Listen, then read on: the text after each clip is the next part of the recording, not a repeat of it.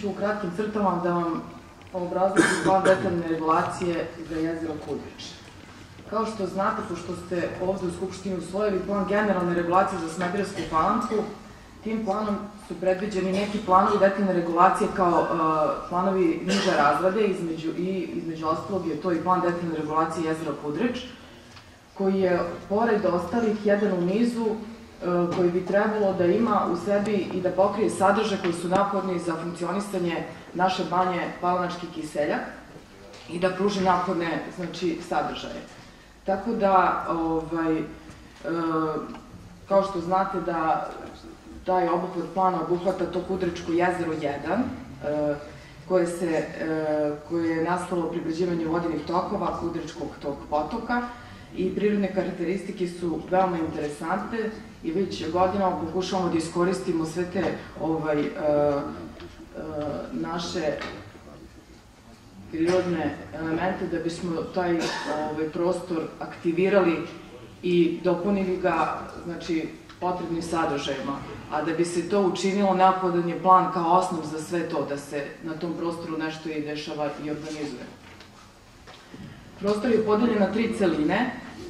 onako zbog morfologije terena koje su vrlo onako logično određene. Prva celina, kao što vidite, označena kao PC1 je sam E, sama površina jezera i 50 metara e, e, koje su opisane oko vodenog ogledala jezera i prostori oko brana u severnom i južnom delu, koji su uglavnom u ovom planu površine javne namene i za njih su planom isto planirane razrade kroz urbanističke projekte kako bi se na što bolje odgovorili način taj prostor rešio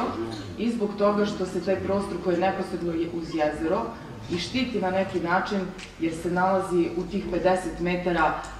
zone zaštite gde bi morali da se pribavljaju za bilo kakvu izgradnju uslovi a, direkcije za vode, što je i definisano u planu,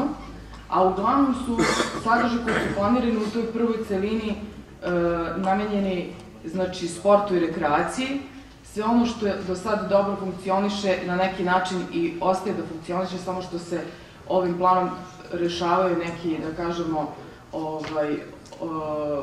de, definišu se pravila građanja i uređenja u skladu sa svim mogućim pravilnicima i zakonima koji su u ovoj oblasti i ovaj,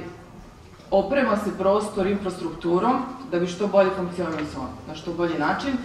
svi ti kapaciteti i postojeći planirani. Kao što ste čuli, izradi ovog nacrta plana je prethodio koncept plana koji u stvari ima za zadatak da e, prouči neko postojeće stanje, neke prirodne karakteristike i da na što mogu bolji način poveže nešto što je sad već izgrađeno i što postoji i da planira nove kapacitete. Ovde smo se držali svi zajedno, ceo tim koji radi, ne samo obrađivači, nego i vaši predstavnici iz uh, direkcije, odnosno Palanka, Stan ili već samo Palanka, kako se sad zove, bile su u faze razne izradi plana i opštine, tako da smo zajedničkim snagama uz pomoći komisije za izradu plana došli do nekog rešenja, plan je bio na javnom uvidu gde su znači mogli da se, da se daju primetbe, da se ima uvid u ovaj plan i ovaj, na što bolji način znači, reše neki eventualni problemi na koje smo naišli prilikom izrade tog plana. Pored ove jedne celine koje sam opisala, koja je u neposrednom okruženju jezera, postoje još dve celine, u jednoj se nalazi stanovanje preduzeće koje je sad dobilo jedan nov naziv stanovanje u funkciji turizma ili stanovanje i turizam, gde bi svi u principu koji tu i stanuju mogu na neki način te svoje postojeće kapacitete i, ovaj, i ako imaju prostora za neku novu izgradnju da iskoriste u službi turizma. I treća celina koja se odnosi isključivo na sport i rekreaciju,